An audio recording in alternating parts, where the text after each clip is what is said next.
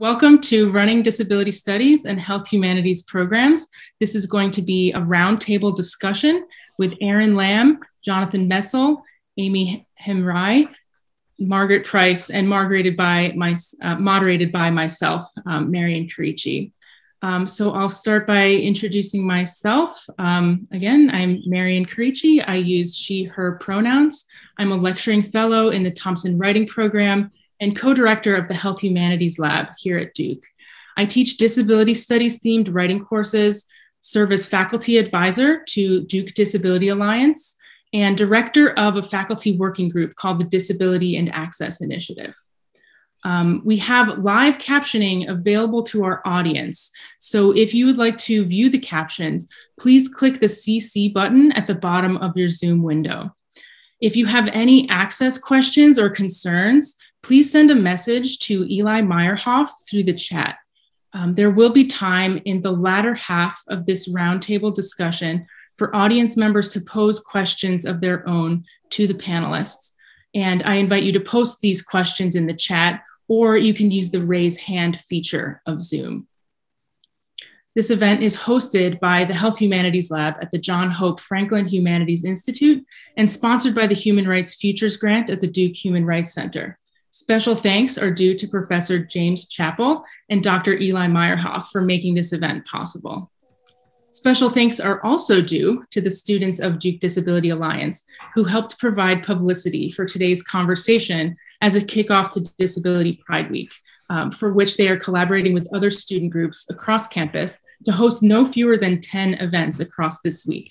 Um, I'm going to just quickly um, drop a link to the webpage for Disability Pride Week into the chat. Um, so if any of you are interested in checking out any of these other events that are happening this week, you can go ahead and take a look and all of the information is at that link. Um, so to provide a little bit of context about what brings us here together today, um, we in the Health Humanities Lab have been working for many years to build relationships and enable collaborations between arts and humanities faculty on the university side of campus and physicians and health professions workers on the medical side of campus. Our biggest goal now is to make sure that students can reap the rewards of these collaborations through the curriculum. So we have been working on a proposal for a new minor in disability and health humanities, and we're hoping to finalize that proposal soon. Um, so you might be wondering why disability studies, why the health humanities. So I'll just offer some brief definitions of those fields to any who might be new to one or the other. Um, the field of disability studies challenges the norms of medical culture and civic life by amplifying the voices of people with disabilities who, as 26% of the US population and over 20% of the global population, constitute the world's largest minority. Disability studies helps us to imagine a more radically inclusive and interdependent society and engages with research in all disciplines to advocate and improve quality of life for people of all abilities. The health humanities explore all dimensions of interaction between the arts, the humanities, and the study of human health the health humanities illuminate cultural factors impacting population health, as well as the social determinants of health across the lifespan, including the effects of structural racism, sexism, ableism, xenophobia, socioeconomic inequality, and environmental injustice. This interdisciplinary field is proven to improve medical education and healthcare practices while giving a holistic understanding of the human experience. My own role in the work of growing these fields at Duke has been an effort in community building through the student organization, Duke Disability Alliance, which I mentioned earlier, and through the Disability and Access Initiative Faculty Working Group, which provides exposure to disability studies scholarship across the disciplines and hosts discussions on accessible, anti racist, decolonial, and abolitionist pedagogy. We have a significant and always growing number of faculty here at Duke who are actively incorporating either disability studies or the health humanities, sometimes both, um, in their courses. Our student interest group in disability studies and the health humanities has grown to over 250 members, and I have lost track of the number of students currently proposing or pursuing self designed majors in these fields through Program 2. It feels like I get at least one email a week from a different student who's interested in doing this. Um, so, in order to learn something about how we can actualize this, how we can propose, launch, and run a curricular program in disability studies and the health humanities, we come together now to learn from those who direct and or teach in similar programs at other universities. Um, so I will now introduce our four wonderful panelists. We are so grateful to all of you for coming to join us today. Um, so I will read a quick bio for each panelist and then I'll pause to allow that person to say hello and, and wave to the audience um, just so that folks can put um, a, a, face to the name. Okay, so first is Erin Gentry Lamb, she, her pronouns. Um, Dr. Lamb is faculty lead of the Humanities Pathway at the Case Western Reserve University School of Medicine, associate professor of bioethics, and co director of the undergraduate bioethics and medical humanities minor. Prior to joining Case Western, Dr. Lamb served as the director of the Center for Literature and Medicine and Herbert L. and Pauline Wentz Andrews Professor of Biomedical Humanities at Hiram College, home to North America's first baccalaureate program our first baccalaureate major in health humanities. Dr. Lamb's key research and teaching interests include aging, death and dying, disability, healthcare and social justice, new biotechnologies, and pedagogy. The fields of age studies and health humanities are both still in formation, and Dr. Lamb has helped to build key professional organizations in both of these areas.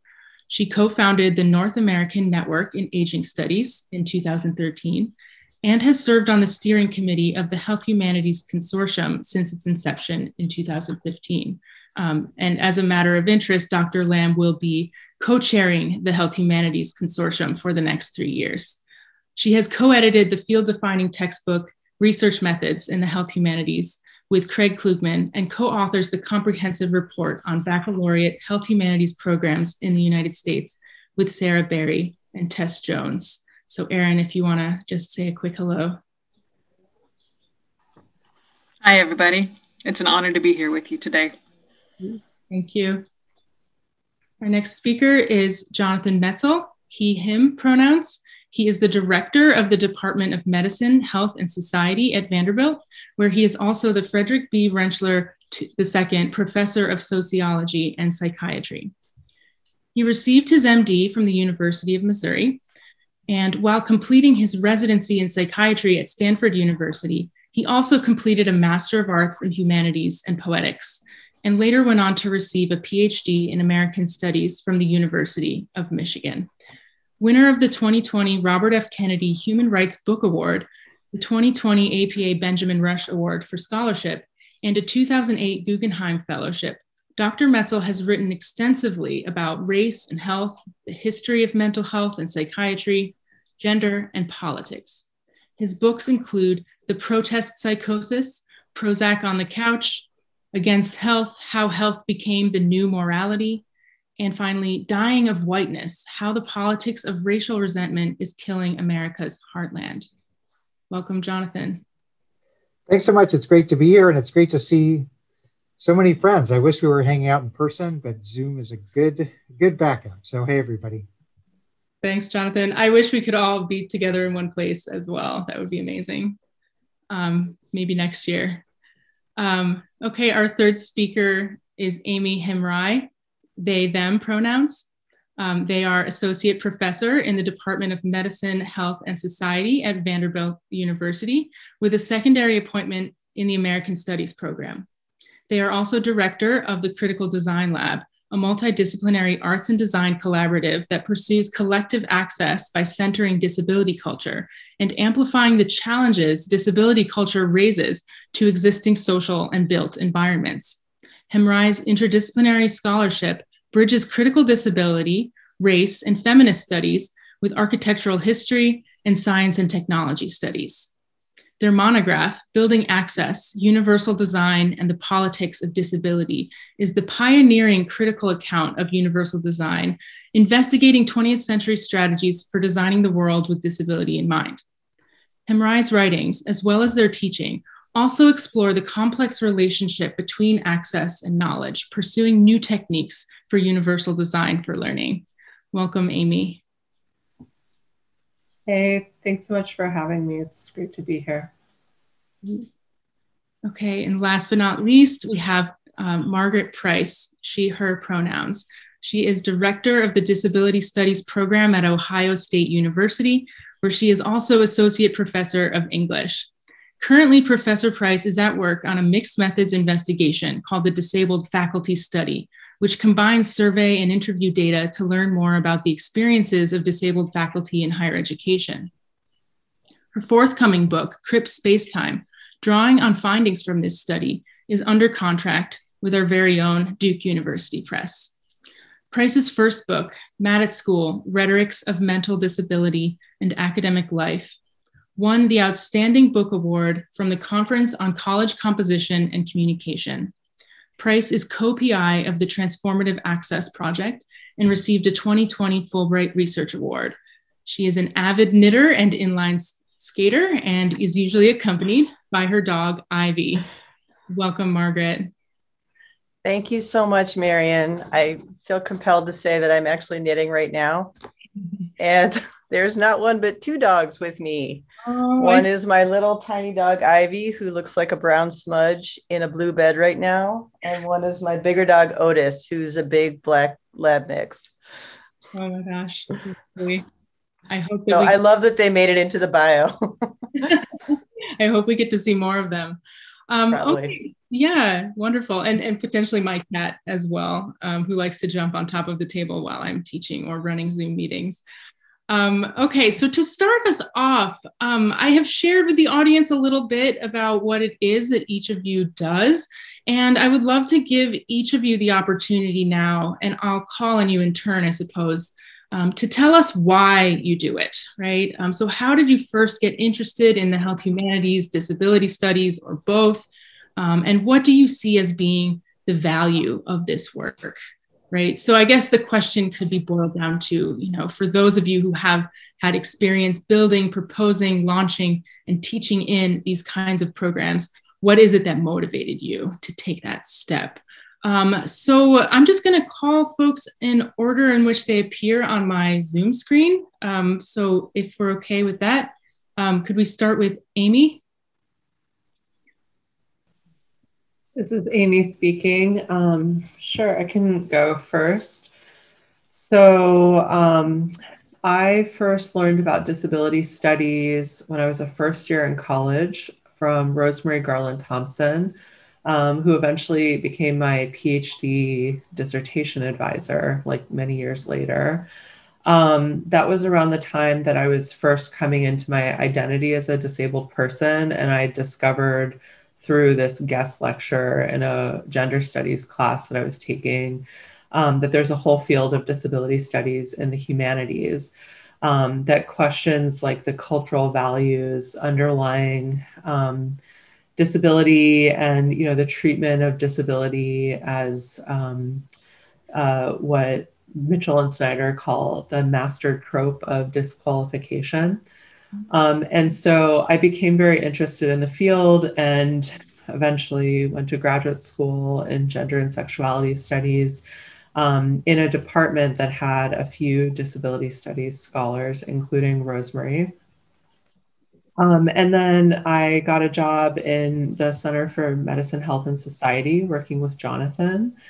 Um, and during my time there, um, in addition to my scholarship, I was doing a lot of design work um, and trying to kind of intervene into some of the ways that uh, disability design happens in university settings, often funded by the Department of Defense and these sort of like high tech prosthetics and things like that. And trying to think about the way that folks in disability culture um, use design and technology as well. Um, and so that's kind of the framework that I use in my work.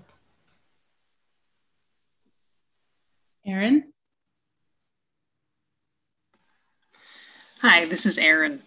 Um, I think it's really interesting to ask origin stories because I imagine that everybody um, has a really different one. I know that I fell into health humanities. So um, I was trying to figure out what to do for graduate study, and every discipline has baggage. So I went with English because you get to read a lot of books. Um, and I came to Duke, where I got to work with Priscilla Wald. Um, but you know, by the time I graduated, I wanted to talk about aging, and uh, my dissertation had literature in only two chapters. Um, thank you, Priscilla, for letting me get away with that. Um, and there was a job ad for a position at Hiram College, uh, where they wanted somebody to teach courses, among them literature and aging. You know, I oh. I had thought that these courses were going to be huge by the time I graduated, and they weren't. But to see that they actually existed was so exciting. So I went to Hiram. Um, and I hadn't really heard the words health humanities or medical humanities so much before that. Um, but Hiram has a long history of being tied in. We also, by the way, have the current director of the Center for Literature and Medicine on this call, as well as um, another one of our biomedical humanities professors, go Hiram. Um, and so, you know, it was a process of figuring out, oh, this is a field. Join these listservs. They have these conferences. These are cool journals. Um, and so, a really, really exciting way to get tied in. Um, and this isn't really speaking to your full question, but in terms of what motivates you, uh, health humanities is great because it is like for faculty, I think it's often like a playground. Um, it is an invitation to teach about the things that we care about most and that we are passionate about. Um, and you know, there's really no such thing at the moment as like the survey course that you have to teach. Um, so for faculty, I think it's just a really fun field to be a part of. Margaret, okay, next. I love this question too. And actually, I think one of my favorite things to do when I gather with people is to tell uh, stories of origin and stories of beginning. Um, I've always wanted to go to work in ways that allowed me to think about and try to change the world. Um, I've always been extremely idealistic that way. And I had actually a, a, several careers before I went to get my PhD and was a professor. Um, I worked as a journalist at a weekly. Um, I was a freelance writer. Uh, and um, I also, along the way, got an MFA degree. Um, that was at the University of Michigan. And while I was getting my MFA, I made friends with a scholar there named Toby Siebers, uh, who had just written um, a, a, really well known now piece called My Withered Limb. And I read the piece and it spoke to me so deeply. Uh, I had uh, been assigned a, a very serious um, chronic illness when I was young, assigned, diagnosed with. Uh, and um, I, so I had grown up understanding myself to be ill, but I had never uh, thought about what the notion of disability might have to do with that. Uh, and Toby and I became friends, and he was incredibly generous with his time and incredibly generous with his thinking. Uh, so I ultimately, after some more uh, tries at different directions, um, ended up getting a PhD and uh, deciding that this was the thing I wanted to pursue the study of disability um, as a concept. To me, when I first began learning about disability studies in the mid 1990s, it very much was about uh, rights and amplifying the voices of disabled people. And I think that uh, in the 25 years since then, um, it's taken a turn that uh, is one I'm, I'm really enthusiastic about, which is um, a turn away from individual bodies and a turn toward thinking about um, what we mean when we say things like that's normal or that's fit or even that's human. Um, and as a philosopher and a rhetorician, uh, I'm I really like to spend a lot of time thinking about questions like when do we think something is broken and when do we think it's whole? When do we understand ourselves to be in distress and when do we understand ourselves to be well? Uh, and though, and I also have a deep passion for then taking those very abstract kinds of questions and saying, what would that change about the ways I interact with people right now, today? Um, and so I've been incredibly privileged to be able to work in disability studies all the time. Um, I started out teaching at a, a small HBCU in Atlanta and then made the move to Ohio State which is in some ways, Ohio State is kind of the opposite institution of a small HBCU for women. Uh, but at both places, I've gotten to focus on disability studies, and um, I uh, I can't imagine uh, not loving what I do every day, even though a lot of aspects of it are the the bureaucratic parts are difficult. We'll probably get to that part too today. Jonathan. Well, thank you. This is Jonathan. I would I would say um, I, I, came the reverse direction to some other people, um, particularly into medical humanities. I was um, I went to a, a six year medical school out of out of high school, um, which is a, a, really interesting experience for somebody who doesn't quite know they want to be a doctor. Um, but it, it was this kind of great BA MD program. They basically automatically give you a BA in biology just for showing up. Um, but the trick is you can quit um, five and a half years into the six year program and you still won't have a college degree. So really they, they have you hooked um, because every, every, all the degrees would come at the end. And so I thought, man, this cannot be right. And so um, I ended up taking actually an extra year and going to night school um, and getting a BA in English. I actually um, was three hours away, still am from a BA in biology, and on principle did not get the BA in biology. So I, I came out of it uh, with the, I was the first student in the six year med school to come out with a BA in English and an MD. Um, and then um, I was doing my residency at Stanford, and it was kind of similarly furtive in that um, I was working in psychiatry and working in the psych emergency room, and it was fantastic to learn about the biological basis of mental illness and all these great treatments and the excellent collaborations that we were having with the pharmaceutical industry to the benefit of like hot lunches and all these kind of things. But everything from the patient interaction to the doctor interaction to the system interaction seemed to be uh, like for me profoundly political. Um, so even things that patients were coming in with um, you know i felt like we were rightly i mean diagnosing in people's brains um, things that were also very clearly social and political um, factors having to do with racism and disparity and uh, stigma and all these factors. And so I, I yet again snuck away, um, and there was a great master's program at Stanford. Um, and I ended up getting a master's in poetics, um, going to night school and studying with Diane Middlebrook um, at Stanford. And uh, and that was really kind of the change for me because i thought man i could i can do these things and i don't have to like i mean when you're doing residency you don't want to hear like oh you have so much time that you can go get a master's. It, that wasn't the case. It was like giving up on the sleep i had but it was like oh how could you do that or something? But it was possible but then i thought there must be a way to kind of join these things. And so when i finished my residency there was a great program the robert wood johnson clinical scholars program um, and it was a program set up for doctors who wanted to get other education. And they very generously, I went to Michigan and studied with uh, Joel Howell and Toby Siebers, my very dear friend who I miss very much, um, and ended up getting a PhD in American Studies um, at Michigan while I was working as a psychiatrist.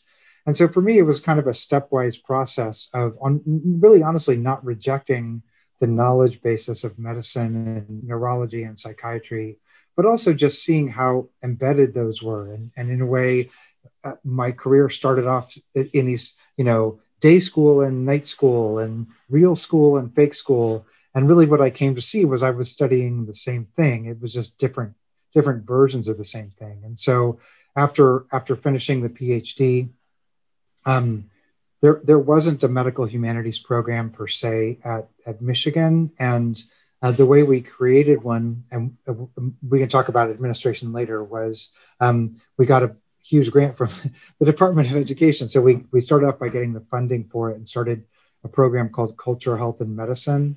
And at the time, nobody thought that there was a market for it in a way at Michigan. And within two years, we had like 9,400 students or something. It was everybody's like, how did that happen or something? And so it was kind of like the student demand then created more resources, which created more infrastructure, which created more need. And so it, it kind of created its own institutional sense. And in that way, that's kind of what why why I ended up at uh, coming coming to Vanderbilt was um, I think when you're doing a I'll, just say maybe a go at go at your own path. Um, all along the way, everybody's like, um, well, what job are you going to get at the end of all that stuff?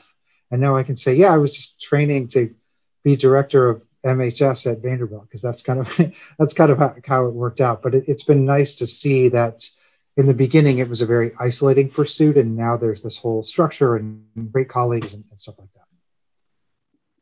Thank you. This is Marion again. Um, thank you all so much for sharing those stories of origin. And, and what I'm hearing um, in all of those origin stories is a sense of the kind of happenstance way by which we come to these fields. It's often a sort of you know surprise encounter when we get to college for the first time or when we get to graduate school for the first time or we see even a job ad we're at that latter stage um, that we can kind of come to this and it sounds like for all of us on this call like that moment um, changed our lives you know just when we discovered that we're not alone in our interests that there's this whole community out there um, and that definitely jives with my own experience because when I first discovered disability studies in my second year of my graduate, my PhD program, um, it was sort of like I finally found something I didn't know that I had always been looking for. Um, and it was kind of similar. I just needed a class. I needed another class, and in the English department, we could um, we could cross list courses from any other department. And so I didn't there weren't enough classes that appealed to me that semester within english. And i looked over at the history department and there was a disability history class taught by dr michael rembis. And i took it and just you know everything just went from there and my whole life changed. My project changed and the kinds of jobs i was looking for changed. And it gave me a sense of belonging but also you know it didn't only impact my work it also had a huge impact on my personal life and relationships and just like you know engagement with the world as like a as a social citizen.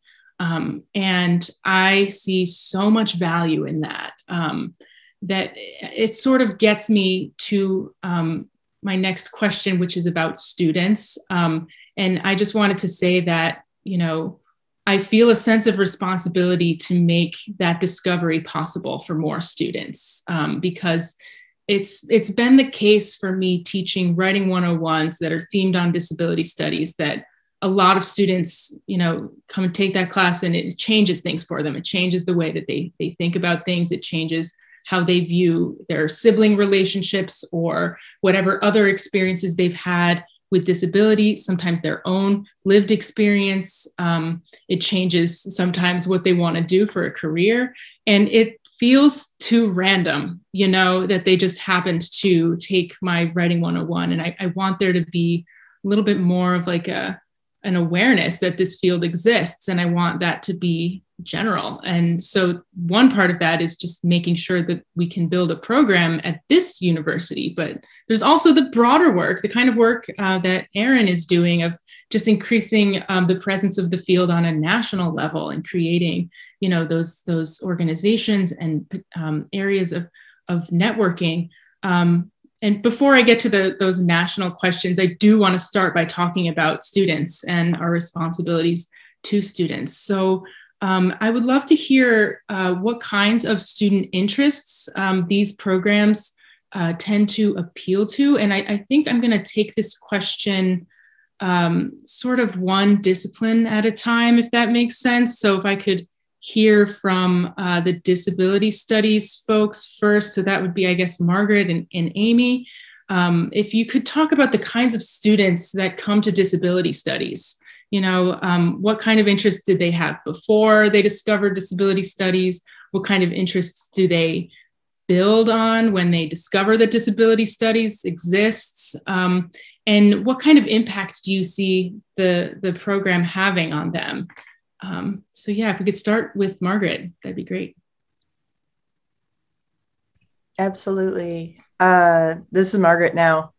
Um, I loved getting your questions ahead of time, Marion. Thank you so much. And it really uh, helped me do some good thinking about our program, which was also very timely because I have a meeting with my chair tomorrow. Uh, so one of the things I looked at was uh, what colleges at Ohio State do the disability studies minors come from? Uh, we currently have 134 students in the disability studies minor, and uh, almost actually a little more than no, almost half uh, come from our College of Arts and Sciences, about 76. Um, and then our next biggest group is from the College of Health and Rehabilitation Sciences. So that is students in occupational therapy, um, other uh, health related disciplines. And then we have a big chunk in education and a few from the College of Nursing, which is a separate school, uh, and the School of Agriculture. Um, so and and pre-med students are uh, scattered across those schools but as probably everyone knows pre-med students now a lot of them come from a college of arts and sciences. Uh, so the person who set up the disability studies program at osu is dr brenda jo brueggemann b-r-u-e-g-g-e-m-a-n-n Oh, I see our captionist wasn't able to grab that. So I'm just going to write it in the chat. Thank you. Yes, absolutely. Uh, so um, Brenda um, was really smart about the way that she set up this minor. And uh, the two core courses in the minor one is Introduction to Disability Studies, which is housed in English, and one is uh, The Disability Experience in the World, which is housed in uh, speech and hearing sciences. So uh, all students who do a disability studies minor automatically have at least one course in a discipline that's uh, quite unfamiliar to them.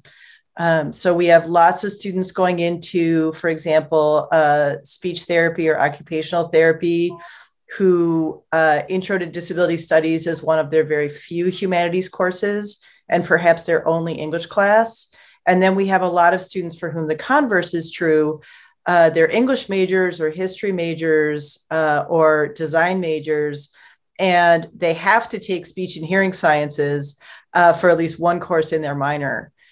Uh, what I find teaching the disability studies courses is that students' sense of understanding that disability studies is much more than they thought is a constant, almost a constant across student feedback um, both anonymous feedback and just the kind of stuff you pick up anecdotally uh, in meetings with students or i also supervise all the disability studies professors so i hear their impressions as well. Um, students who may come uh, to the topic of disability with a more medical or um, science centered point of view uh, tend to say oh, I didn't think about uh, there is such a thing as disability culture or um, disability arts is such and such, or I've now rethought my notions of what it means to help someone. And conversely, and this is especially important to me when I teach disability studies, it's really critical to me that we think about the ways that I think Jonathan alluded to this uh, science, medicine, technology studies, humanistic studies, social sciences these really shouldn't be seen as being at odds with each other in the study of disability. So it's really critical to me to teach students about various methodologies. Um, I'm a big methodology nerd, so I come to I tend to come at it through methodology and say, let's think about what the word validity means across different methodologies. Or let's think about what the word art might mean between these different sites. Uh, and that's something that students uh, comment on really specifically. Um, and I, I don't think they know that they're getting a different view than a lot of disability studies programs might offer, uh, but it's one they certainly value. Uh, the last thing I want to mention is that, and I'm, I'm trying to sort of tilt toward our undergraduate students here because I know you're working on an undergrad minor. Uh, I really want to brag on our grad students as well. Uh, but one thing I've really noticed among our undergraduate students is that uh, they tend to move toward uh, heavily interdisciplinary projects. So one student I'm thinking about, I'm putting his name in the uh, in the chat is Addison Torrance, who's working on a project in a major he designed himself uh, that he has titled Neurohumanities. Um, he's studying the discourses of medical school admissions requirements, which is a project I'm incredibly fascinated by. And then a student who graduated a few years ago, uh, Anna Volker, I've put her uh, name in the chat as well, uh, was really passionate about studying um, access to science education. Um, so for her senior project, she designed an accessible planetarium exhibit that involved, uh, she actually designed and 3D printed what she called a tactile globe. Um, but the globe was actually uh, uh, um, the, the converse or the relief of what you would see if you were a sighted person looking at the ceiling of a planetarium, which looks like a scooped out shell with the constellations on it. Um, and Anna designed something uh, that is pretty commonly used uh, for um, blind, uh, certain kinds of blind theater productions, which is a, a tactile aid to a, a visual event. Um, so I'm, I mean, as you can tell, I'm incredibly enthusiastic about the work our students are doing. Um, probably a refrain today is going to be, we have so much interest, there's so much excitement, we need more people. we need more staffing and we need more funding always to help us uh, just manage all these folks doing this great work. Thank you so much, Margaret. This is Marion again. Um, I wanted Aimi to speak to this question as well, but I wanted to also clarify the differences between OSU's program, where you have a disability studies minor, um, versus Vanderbilt, in which um, you, you have a Department of Medicine, Health, and Society that features an amazing disability studies scholar in Aimi, um, but it's not explicitly a disability studies program. Um, so, yeah, Aimi, I'd love to hear about your student experiences. This is Aimi speaking. Um, so, our program is an interdisciplinary pre health major. Um, that's one way to describe it. It has a number of tracks. Um, so students uh, can specialize in medical humanities or critical health, but they can also specialize in public health or health behavior and economics. So there's really kind of a wide range, um, and that reflects the faculty that we have.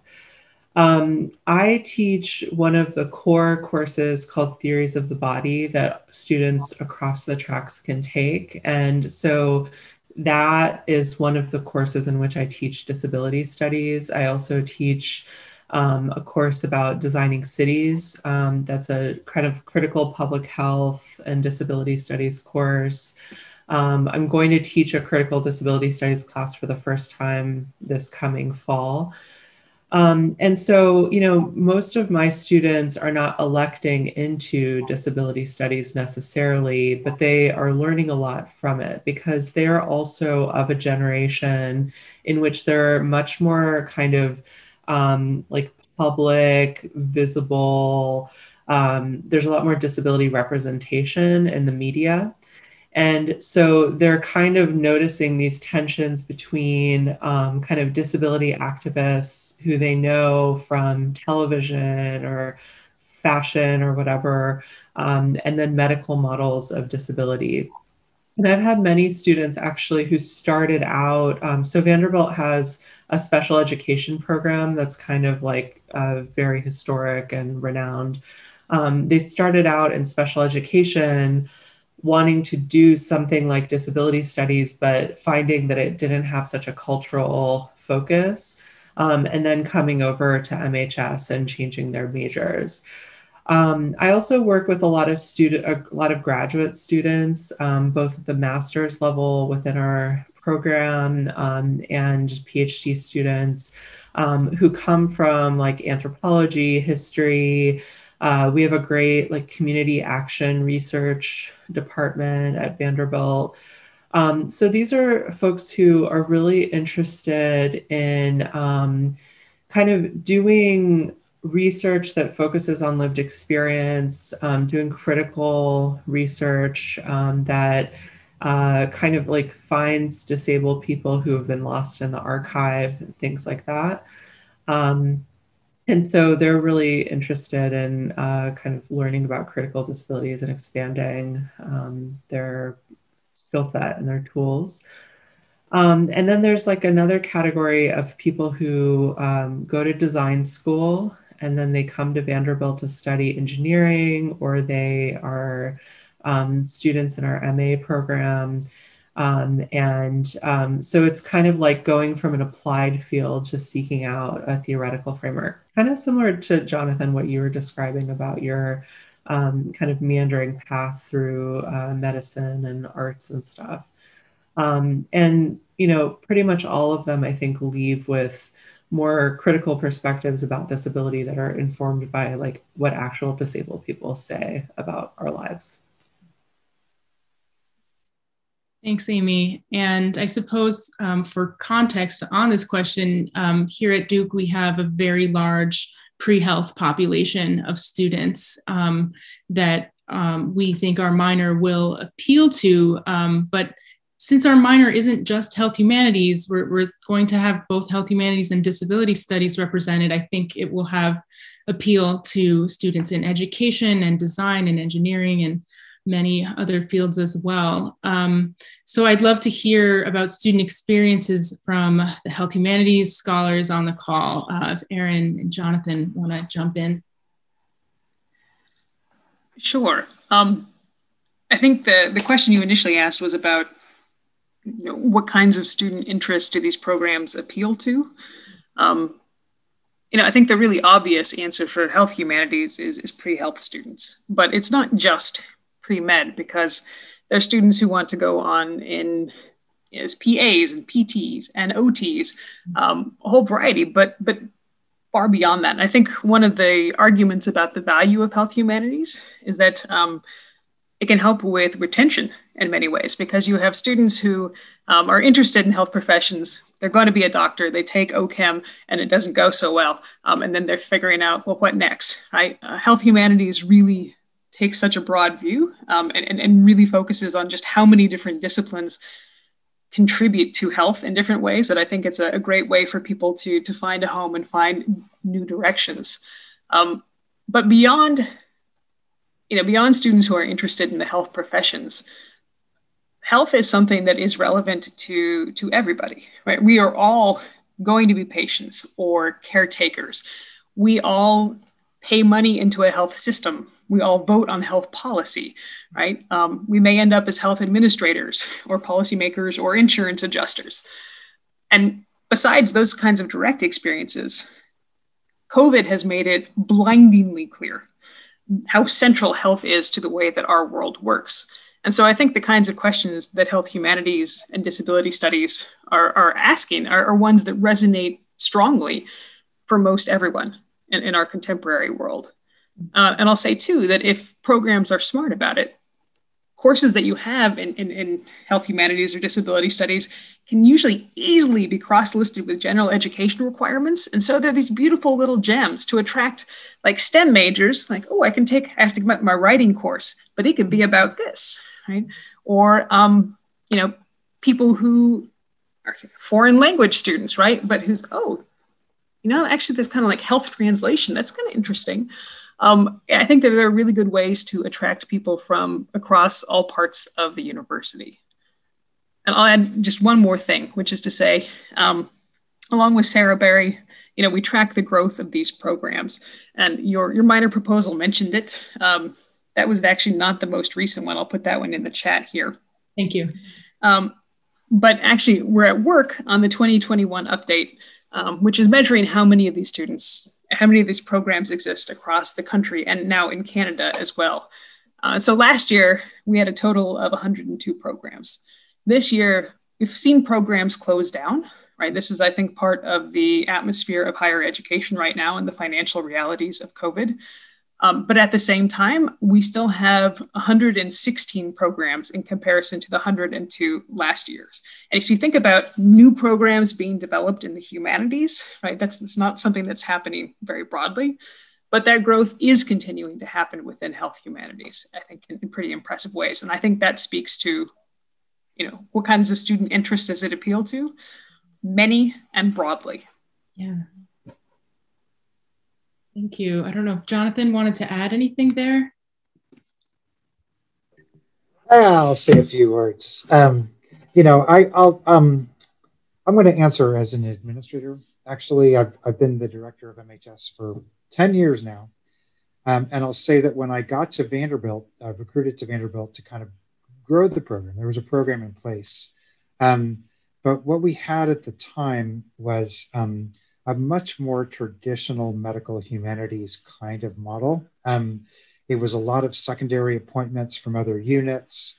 Um, and then it was a, a, major on the books, but the major was, um, uh, I think, 40 students or, or, something like that. And we had an administrator. Um, and one of the arguments, and I realize this is probably particular to Vanderbilt and not other places, is um, we needed to have um, our own lines in the department if we if we could. It was a cent- it's been a center for the last decade, but the idea was um, if it was just going to be secondary appointments, and I say this with full respect because it, I've been in many systems, but you ended up, I, I, felt like we ended up with a potentially kind of gender dynamic in which one discipline was in the service of the other discipline. It was volunteered time, or it was the role of the English professor to make the pre-med more sensitive to make them like a surgeon but whatever. And it had this whole thing of like it, it was never two disciplines on equal par with each other that had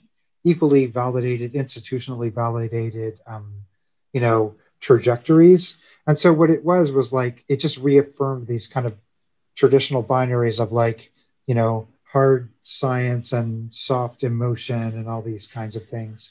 Um, and so first of all, um, you know, in taking the job, which is again not in any way um, whatever, but we ended up getting our own our own. We made the unit tenure granting, which I think was a very major in changing that. And then we just kind of went through after we hired a couple of amazing faculty, including the esteemed Professor Hamraie here, um, and we um, we re, we revamped the major that was on the book so that it wasn't just medical humanities or medical history. And I think three um, three kind of um, frameworks were the core of that. Um, number one was um, that um, it had to be within the, the value system of what the students brought. In other words, we didn't want to be in the position of just saying, come here and become more sensitive. So even if you're a doctor, you'll be able to read Chaucer and all that kind of stuff. Like to me, that, that it never flies. It's more like we are part of the university also. And if you get a major in our program, it's going to make you a better person, but it's also going to make you competitive in what your career goal is after. And so part of it was we were very much in line with the um, what are the students' endpoint, not just what how can we change them when they're here, but um, how can we help them get into med school more or grad school more, or if you were going to go into business um, be critical, but also have a more successful business career. And so, number one was that. Number two is we didn't have a framework that was any one discipline or approach. So, um, there, it's like medical humanities and politics and sociology, critical race studies, disability. They're a part of many different aspects of MHS, but it's not like we wanted one particular track. So we kind of had that, it was kind of like a show, don't tell model in a particular way. And then number three again sounded like an administrator is um, we were part of the same economy as the rest of the university. So ultimately we had to it wasn't just I, I, didn't want to get in a position where it was just um, um, like we had to pay, pay you know the university responds to how many majors you have and it responds to how many grants you get and it responds to how many donors you have. And we didn't want to say oh we we're, we're a special case and we shouldn't have to play by that economy so we kind of created an interdisciplinary unit where there were kind of multiple things happening at one time. Um, and but it was within the economy of um, you know we've gotten a lot of grants. We've had a lot of donors. We um, now have Aimi what is it like 800 majors something like that? We have a lot of majors. Um, we have a, a master's program that has 25 students a year. Um, we've got um, all these other things. And so it just makes us um, harder to kill in a way. Um, and and so part of the issue was um, we kind of started i think really not just with the content but with the endpoint which is like what does it take? Forget forget the topic. What is it why do students take majors? And what's the endpoint they want? And we kind of work backwards. And it turned out um, for the most part hopefully it's been very true to our ideals. But once we had the kind of framework in place, um, then we could um, next then fill in the the content, which was not just medical humanities to make things more sensitive, but and I'm just going to give one number. Um, in 2016, um, our students we had an 83% acceptance rate to med school in our program, um, which is double the national average. And so it was kind of like we could take the same endpoints. We took the endpoints that were not our endpoints. They, they weren't our metrics, but we thought we can play that game. Um, and it turned out that if we combined critical thinking with science, with all these things, um, we could we could metrics that other people cared about. And I think that that's kind of what helped our growth. And uh, a, a, decade on, we went from being a center. We're now a department as of last year. So we're um, even harder to kill. Not not to say they won't do it, um, but I, but I will say that it's kind of like trying to think uh, in a kind of layered way of just about. I guess what I'm saying is um, it, it's kind of thinking how the university works, and then thinking how we can kind of beat them at their own game in a certain way.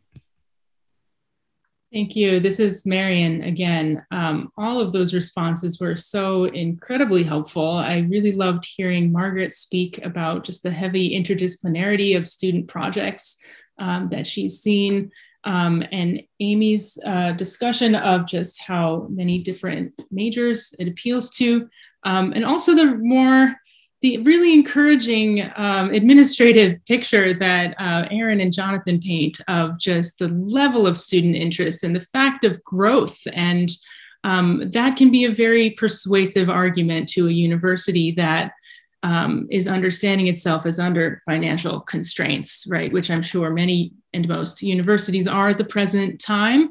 Um, and I know for myself, I'm just thinking about all of the logistic arguments that we will have to make. Um, and uh, so I appreciate Jonathan's comments on just the economy of the university and ways that we can um, imagine speaking to that.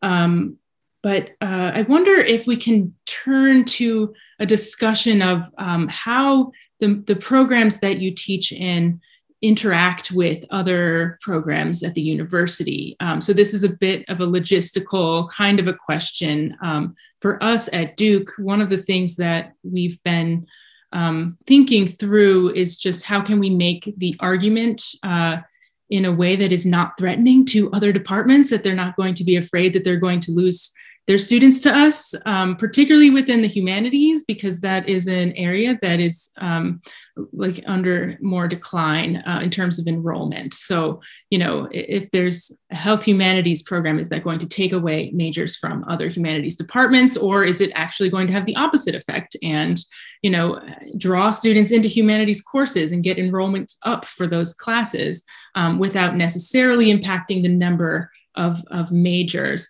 Um, so that's something that we're thinking through. Um, and also in terms of how to make the program run affordably, um, we uh, really rely on our interdisciplinarity for that argument because we have faculty who are teaching you know in many different departments and we see this as being like okay at first we can just do a lot of cross listing and a lot of taking advantage of the expertise that's already here and as it grows, then maybe we'll have a stronger case to make for some new faculty hires. Um, but that has to be down the road. Um, so my next question is about um, the interdisciplinarity of disability studies and health humanities. Um, I'd love to hear um, what impacts your programs have had on um, other majors in the broader curriculum of, of your university, how they complement or compete with other majors and departments. Um, and as, as, a sort of sub question, um, I would love to hear about the relationship between the university and the medical school um, and, and the role that your program might play in building a bridge uh, between those. Um, so I suppose if I could, if I could just call on people um, I, I, suppose I could start with um, Jonathan, since I know um, there's a medical school at Vanderbilt and you are in that administrator kind of a position. So if you could speak to this question, how does, how does the uh, Medicine Health Society major interact with the rest of the university?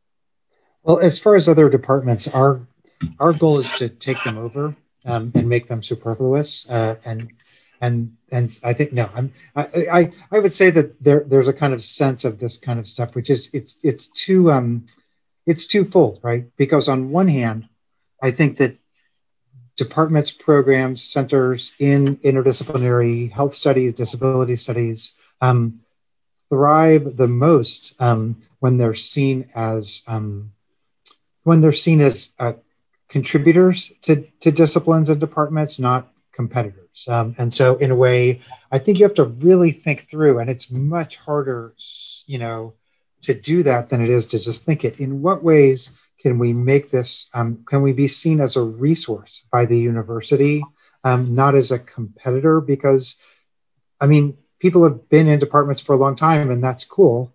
Um, and you, I just, it, you kind of lose when you have those fights, and they're also just not that fun. Um, and and you get and you gain when people kind of want to join. And so the way you do that is number one, um, you know, you you have an open, um, you know, we co-host things with as many different units as we possibly can.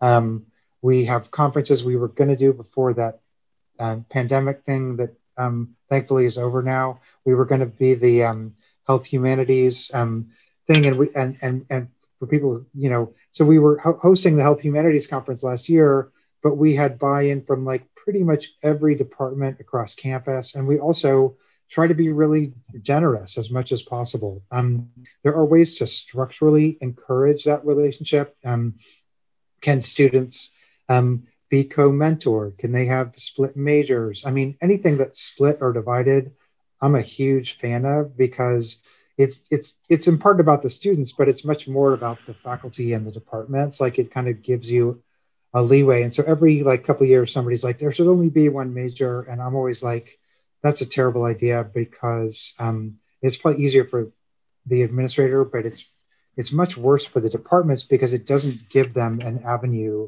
to kind of reflect how um, how cooperation is. And we are also, um, you know, almost maybe now to a fault, um, friendly to social science. You know, we've got a lot. We've got social science scholars in our in our department, um, but I think having having scholars on the same floor in the same unit, it kind of, you know, it, we're kind of trying to show how that stuff works. But I will just honestly admit that it's a daily battle um, because the, the, you know, deans change and chancellors change and other people change.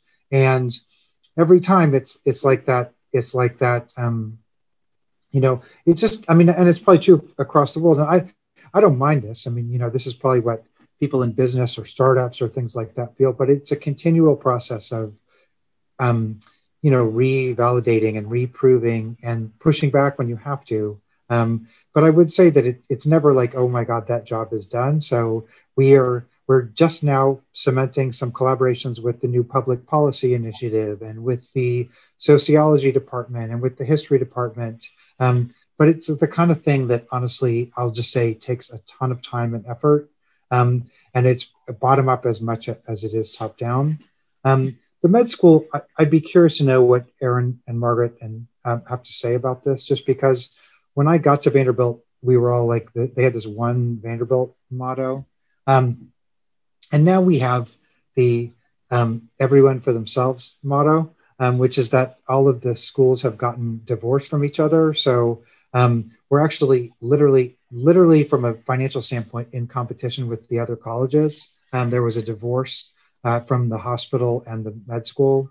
And so what that meant was we had to be much more creative about how to bring physicians over and how to get our students over in the med school. I could talk for a very long time about how we've tried to get around that, I think successfully. I'll just say that one of the key areas has been um, thinking about ways that, again, value is a system of valuation for both the med school and for us. So we've written grants that bring in postdocs that have collaborative teaching. We try to get our students on research projects over there but it used to be a lot easier. We used to have like courses in the emergency room and stuff like that. But the minute, I mean, the med school people are on the on the same, you know, they have their own economy, and so they had to validate their time. And the minute um, their time wasn't covered anymore by the college, it just made that argument a little bit harder.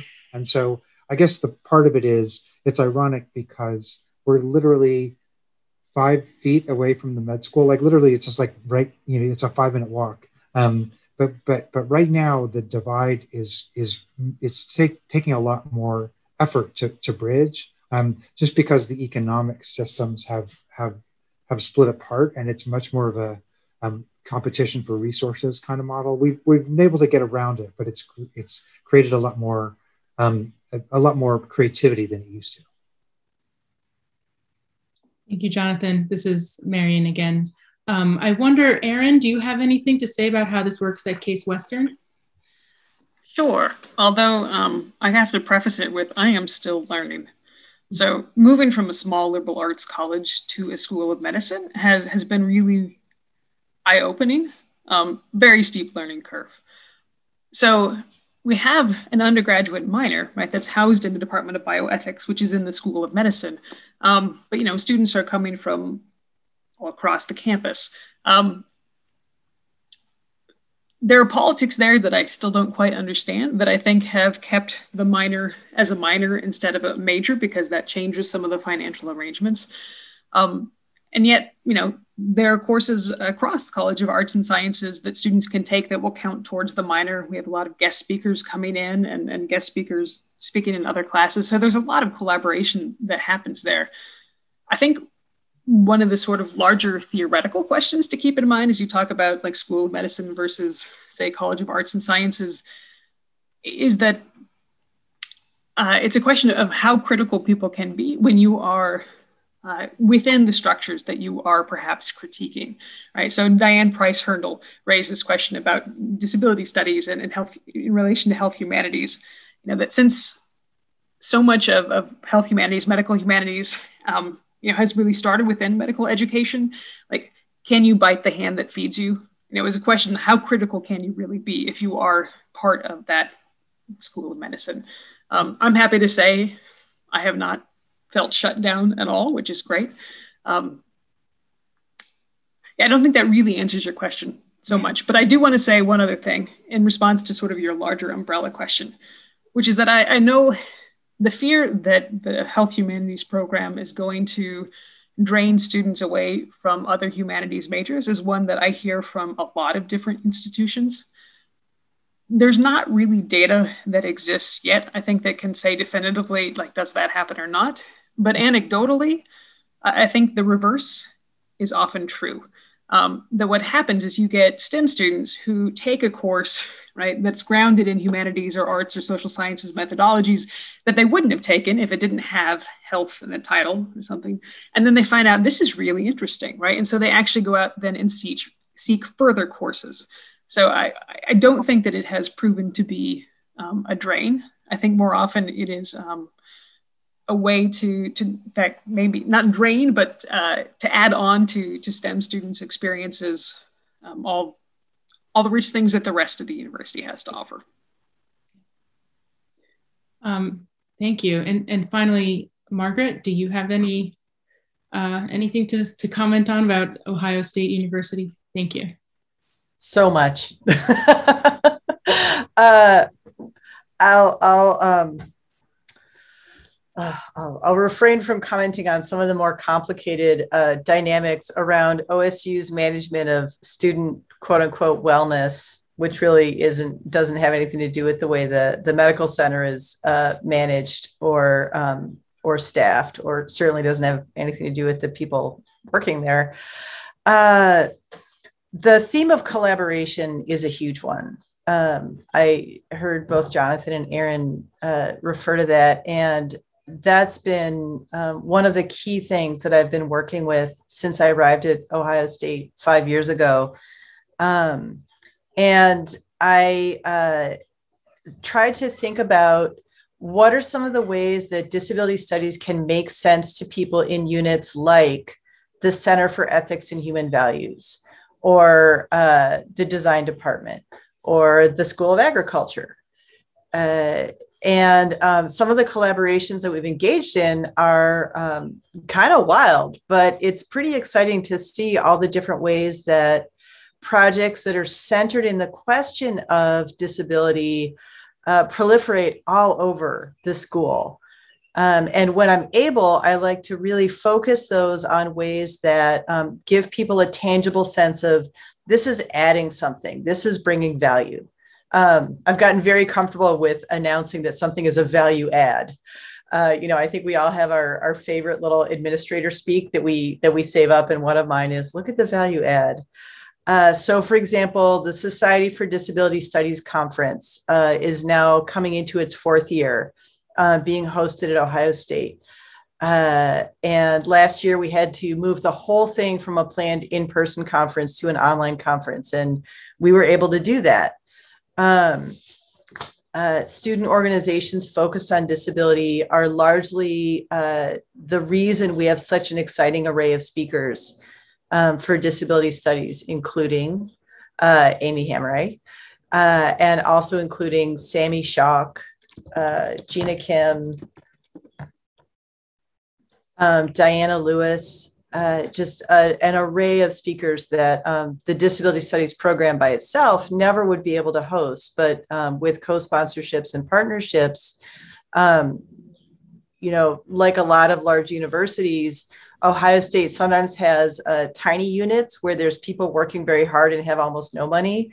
And then there's sometimes other units where people have a chunk of money and they're sort of going how can i spend this uh, you know, like how can this look good? How can this really uh, go with my my center's mission?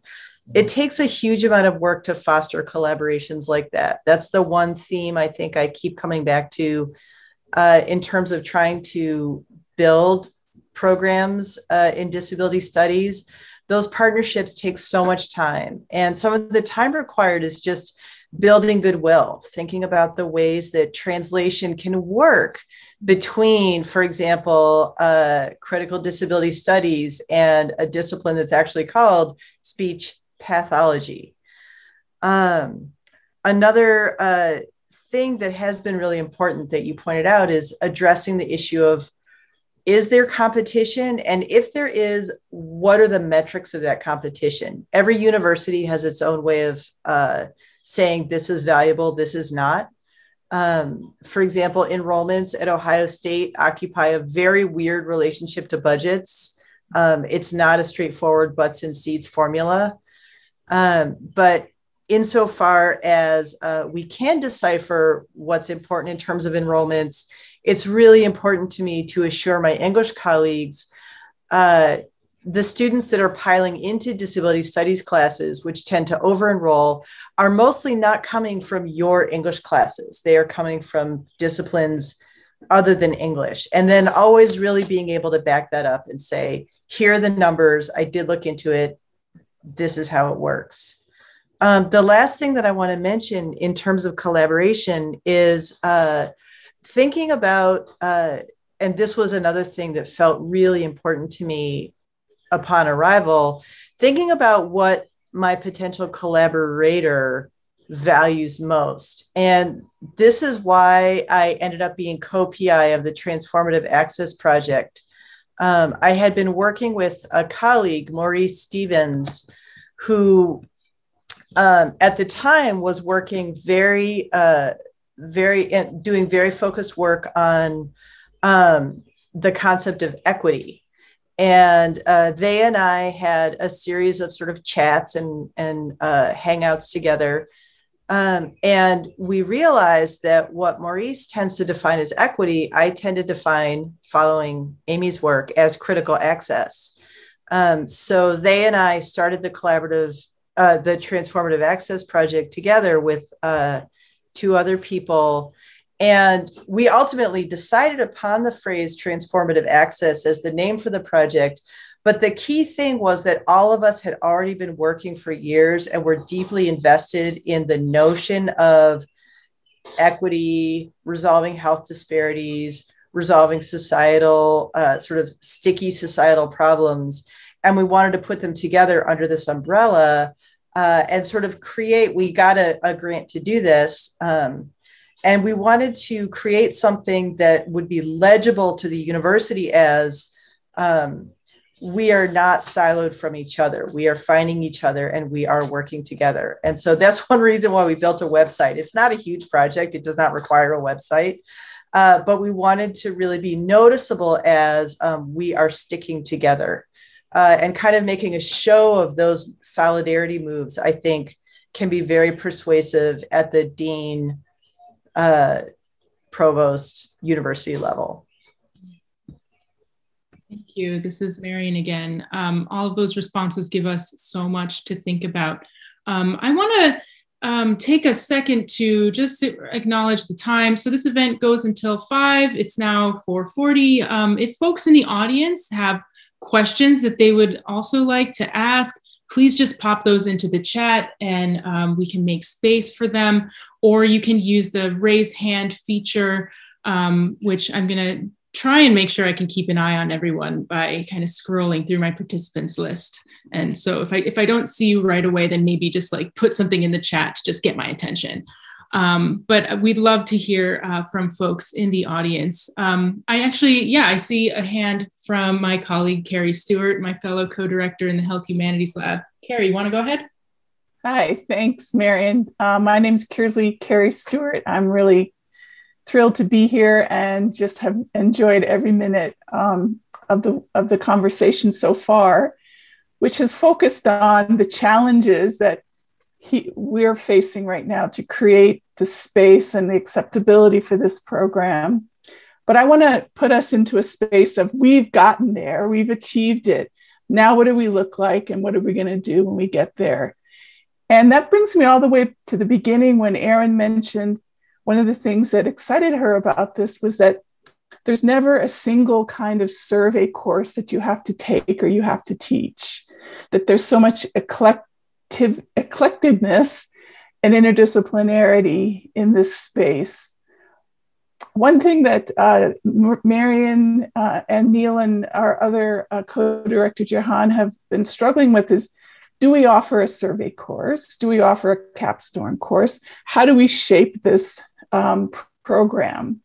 And I just wanted to get thoughts from you guys about the value of trying to create a coherent or to put, package it together in a survey course, in a capstone.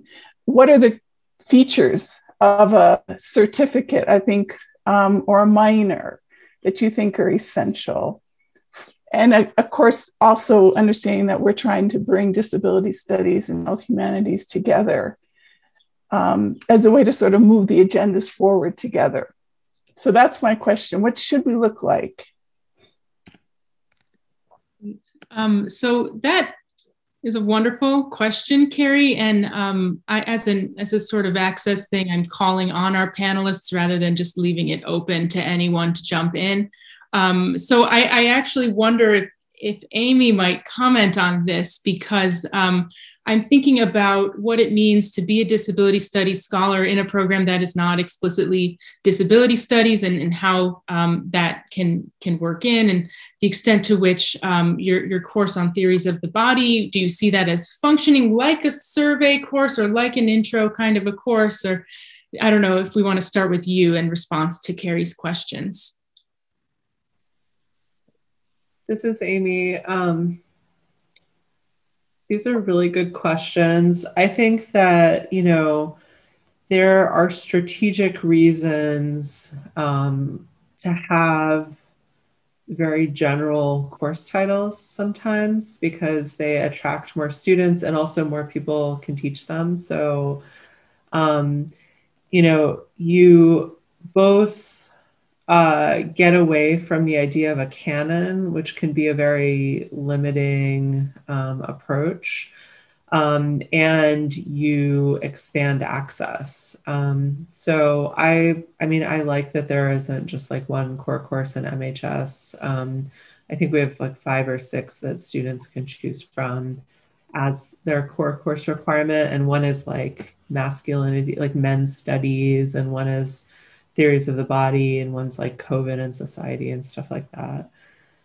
Um, I also think it's really valuable to have dedicated courses that do make their commitments explicit. And I think it's good to have both. So Um, you know, right now, I think a lot of my students may not know that there's a whole field called critical disability studies that they could go to graduate school in, for example. Um, and I think that having like a dedicated course for that achieves that. Um, and I think that both of these things can live together because, in terms of the politics of the university and kind of um, apportioning funding and things like that, like you kind of need one to support the other. Um, and this is something I really learned when I was at Emory uh, doing my graduate studies. Um, you know, there there was this uh, kind of traumatic event that happened when I was in my last year of my PhD, which is that the university cut like half of the departments just overnight and ne- wouldn't tell anybody why that was happening. But you know, we know now that this is the thing that happens, and um, disability studies had really been cultivated um, so strongly within all of the departments across the university that when those cuts happened, the fact the tenured faculty were kind of shifted around. Very, very unfortunately, the non-tenured faculty had their lines cut. Um, and you know, this is like a very like ambivalent statement that I'm making. Like disability studies uh, still continue to exist, and um, I think it was because uh, it hadn't like located itself in a particular canon. So I think that there are reasons to have both. Um, and you know, you kind of want to be able to be there to be able to do the work, um, even though there are very unfortunately conditions of scarcity. Um, Erin, do you have thoughts? Yeah, I do. Thank you. This is Erin. Um, so I said at the beginning that there really, you know, isn't a kind of standard curriculum.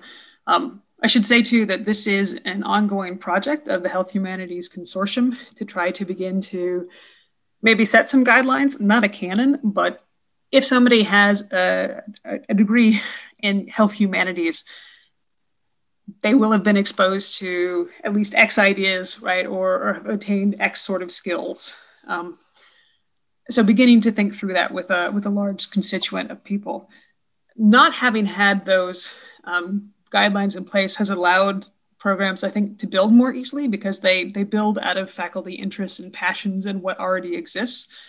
But one of the key challenges i think when you have programs that are so often cobbled together um, is how do you how do you ensure that students who, who go through these programs have some kind of common experience. You know, if I have a health humanities minor, what does that actually mean, right? And if you have students who are taking entirely different coursework, it's hard to say that.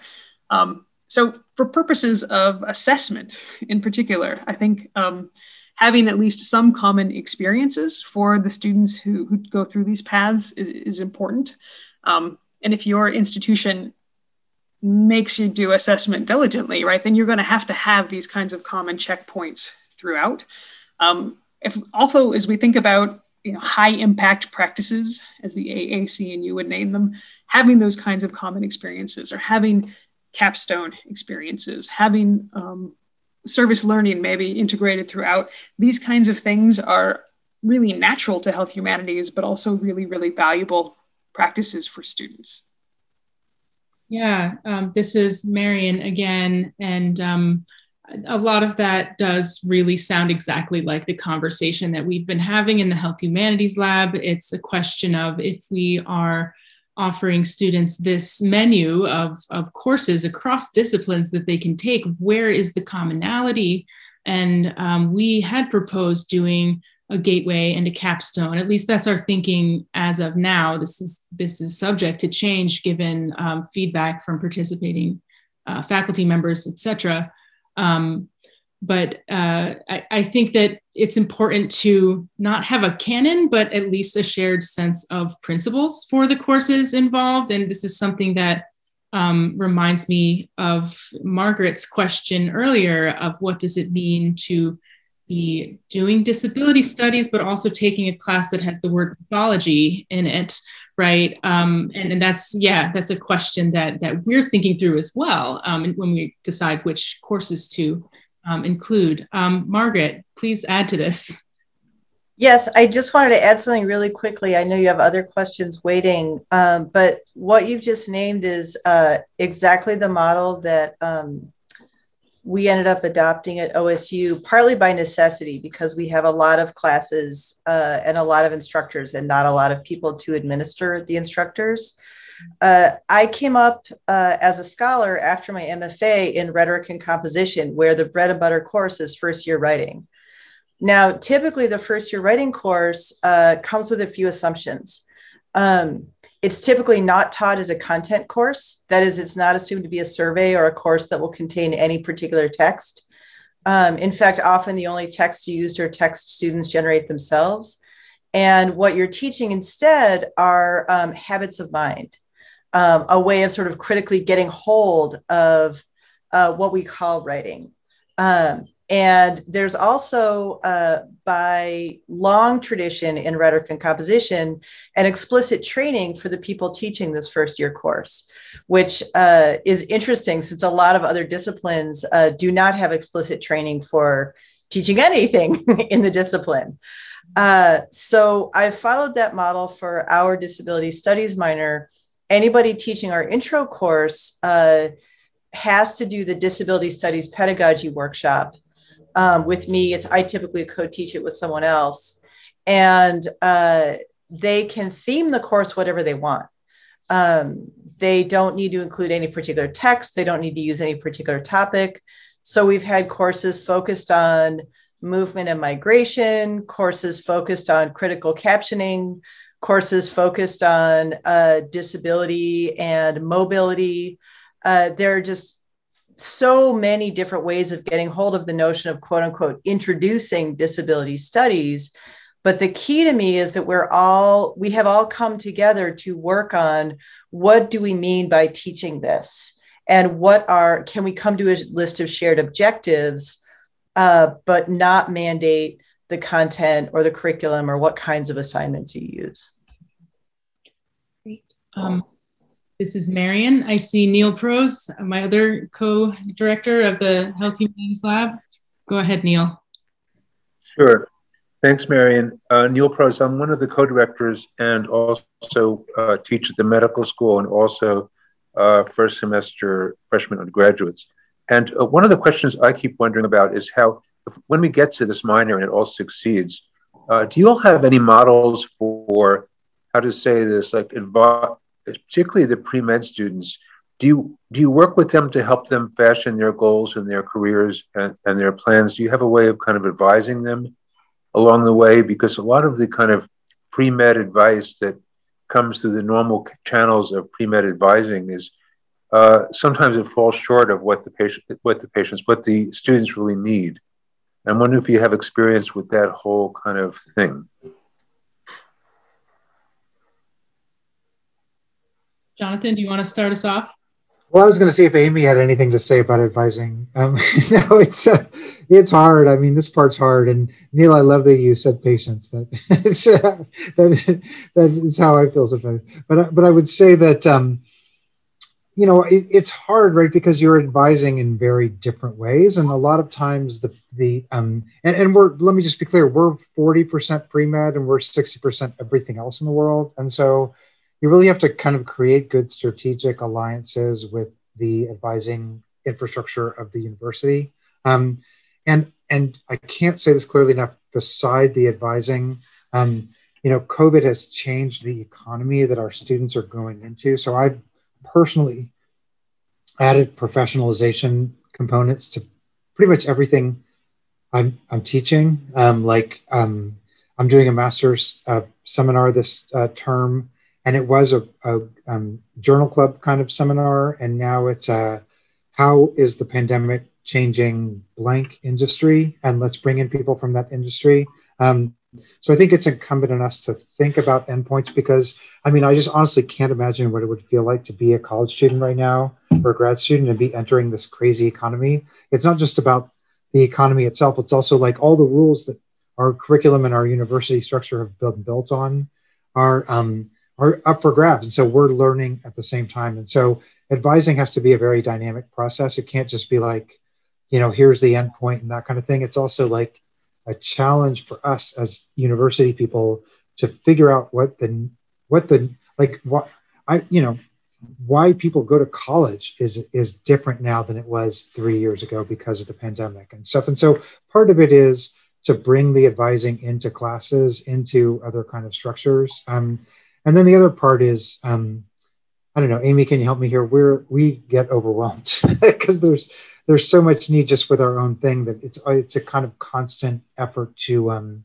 how can we kind of streamline the the advising in a way just to, for I mean that that's in part I'm going to um, second what Margaret said. I don't love tons of required courses or capstone courses or anything like that because it just creates too much bureaucracy and um, and and people are going to find it. I mean, hopefully they're going to come through your curriculum and get the skills you want them to without them having to take this one class or that other class. So even as we try to keep things as open and flexible as possible, it does feel like there's a lot of advising to be done. Aimi, you want to throw me a life preserver here? uh, yeah, this is Aimi. I can say, you know, at Vanderbilt, our students are required to come for advising meetings every semester, just something I'd never encountered before. Um, and so that means that we're meeting with like 800 students like in the middle of every semester as they're signing up for courses which is a lot um, and we definitely try to figure out ways to uh, reduce the cognitive the cognitive load of that. But one thing that i really appreciate about that is it's also like a place for making certain interventions. So it's like the place maybe the only place where some students have someone tell them like hey slow down. It's okay. Like you don't have to you don't have to carry all of that. You don't have to like retake biochem three times to try to increase your science GPA. Um, maybe you want to do something else that feels more easeful and um, or maybe like you know there maybe you have some like internalized ableism to work through let's like talk about some resources for that and so I feel like a lot of disability studies work actually like happens in advising um, with a lot of my students, and that's like the benefit of having that kind of face-to-face interaction. On the other hand, I'm not a therapist. I'm totally not equipped for the like emotional um, stuff that comes with a lot of that, and I do wish there was more support around that. But um, but you know in our structure, it does mean that um, students are getting, you know, there are pre-med students getting advised by me. I never took biochemistry. I just like have information that I give them and help them navigate their major and stuff. Um, so there may be something in that too. And if I could add to that, like it also helps you see the pressures that they're under. Like it actually gives you a lot of empathy. Like I do the I do the freshman orientation. It's their second night of college, and you kind of go hang out with them on their dorm or you used to before the pandemic. And I, the first question is always like, how you feel about being in college? And you go around a circle of like 50 students and like 40 of them will be like, what GPA do I need to work at Goldman Sachs or something like that? And it's like, it's your second night of college. Like, you know, you're supposed to like run around and get arrested and set off the sprinkler sprinkler system and stuff like that. Um, and um, and and so but it's so much pressure and it, and, and i think it's important to recognize that pressure and and in a way that advising it kind of gives you a feel of like just the it, it's hard to be a student it really is and so it kind of lets you do exactly like Aimi's saying which is to say um, okay we can figure this out in a way so okay so um, margaret please uh, I this is just a very quick addition. Um, one of the main things I find myself talking to students about is the culture of the various professions or uh, graduate schools they might go into. So uh, I am far from an expert on this, but medical schools have a specific, you know, each one has a specific culture. Medical education in itself has norms and traditions and discourses. Uh, if anyone's ever counseled a student through the process of trying to get accommodations for taking the MCAT, you know that that is harder than the MCAT itself. Uh, and then uh, humanities PhDs have their own spotty cultures. So, one thing I wanted to just mention was to go along with what folks have been saying, uh, a lot of these conversations have to do with um, just saying, be aware that you're going into specific kinds of worlds. And if the language and the customs seem weird or sometimes even punitive, it's not you. Um, and you may wish to navigate that or you may wish not to, but um, those things you're bumping into are not, they're not coming from you. Thank you all so much. Um, so it is nearly five o'clock. Um, if there are any last questions from the audience, now is the time. But um, I suppose we can start wrapping up and concluding. And I just want to say, um, I love that we've ended this on uh, the topic of, of empathy and, and the ways that this can generate empathy between faculty and students and just helping us to understand better the choices that are in front of them.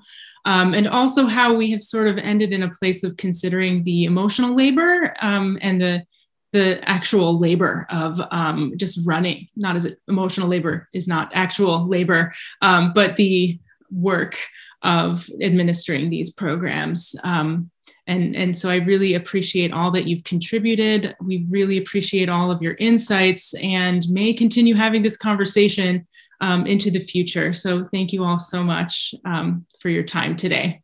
We'll do a little um, round of applause visually here. Thank you. Thank you so much for this space, Marion and Eli. Thank you. Of course, you're welcome. Your minor Thank is you. excellent. It should absolutely get approved. Thanks, Erin I hope so.